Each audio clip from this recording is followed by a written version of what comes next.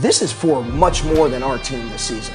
And it's for much more than that one game against West Ham or this one game against Ridgefield. We're not losing football games anymore like that. If we go out, we're going to go out swinging. But at the end of the day, you're lined up against another human being, and it's going to be a battle of wills. And it's why it means something when you have an S on your helmet and it says Wreckers across your chest. That's why I'm fired up. There, there's no media training for that.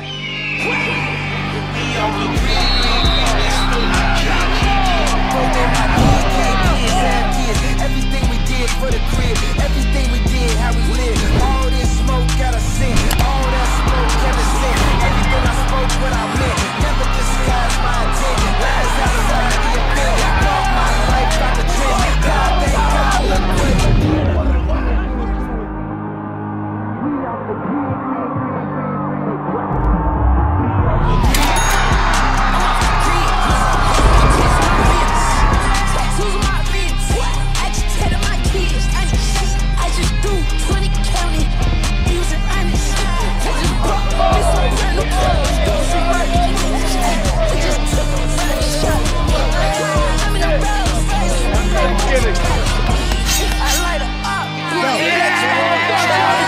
The goat! Charlie, you're the me!